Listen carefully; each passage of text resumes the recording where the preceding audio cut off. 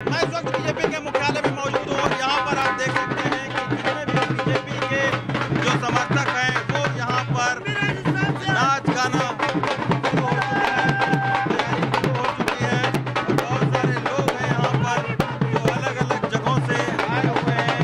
हालाँकि इस बार बीजेपी को सीटों का नुकसान भी उठाना पड़ा है, लेकिन फ़िलहाल सरकार जो है, वो बीजेपी जो एनडीए है उसकी बनती हुई।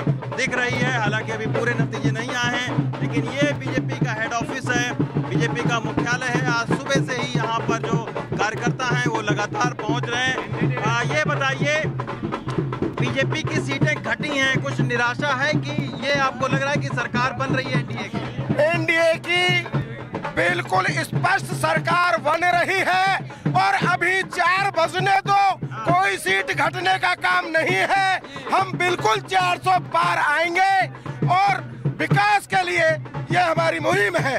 आज से दस साल पहले आपने एक शब्द सुना होगा एंटी इनकन्वेंसी मोदी जी ने एक शब्द दिया है राजनीति में प्रो कन्वेंसी आज से पहले दो सौ बहत्तर प्लस में बात होना बहुत मुश्किल था दो दस साल पहले।